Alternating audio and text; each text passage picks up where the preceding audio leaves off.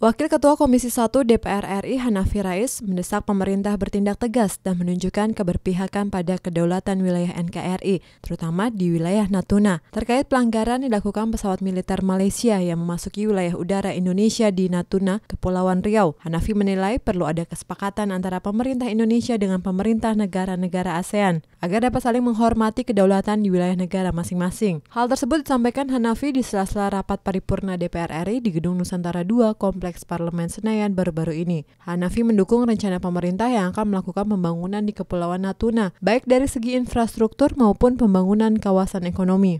Kebijakan pemerintah yang perlu didukung dan juga diwujudkan dalam bentuk yang konkret. Karena selama ini kita punya uh, klaim yaitu zona ekonomi eksklusif, itu adalah wilayah kedaulatan kita, tetapi pemerintah kurang mengoptimalkan hak berdaulatnya yaitu menggunakan uh, kekayaan alam di uh, zona ekonomi eksklusif ini terutama di sekitar Natuna untuk kepentingan ekonomi.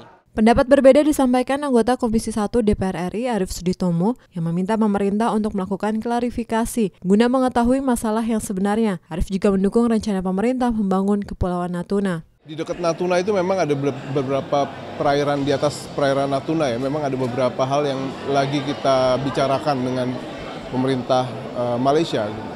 Uh, sehingga apabila ini ada permasalahan yang timbul, memang kita harus klarifikasi apa sih sebenarnya yang terjadi gitu. Karena kan kalau sekarang masih tahap-tahap ya, uh, yang cukup awal, lalu kita memberikan judgement, saya pikir juga belum terlalu pas ya, masih terlalu dini. Oki dan Jaya, TVR Parlemen melaporkan.